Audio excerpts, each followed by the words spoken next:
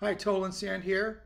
Uh, this new piece is called Pei's Blues, an homage to the architect I.M. Pei, and specifically the East Wing of the National Gallery of Art.